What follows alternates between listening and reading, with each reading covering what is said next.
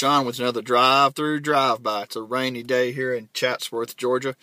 We dropped by the Creme Hut to try try their ham and Swiss.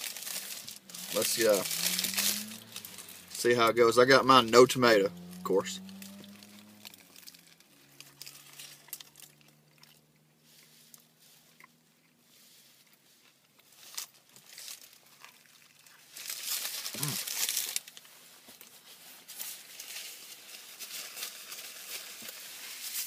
That's a pretty good sandwich.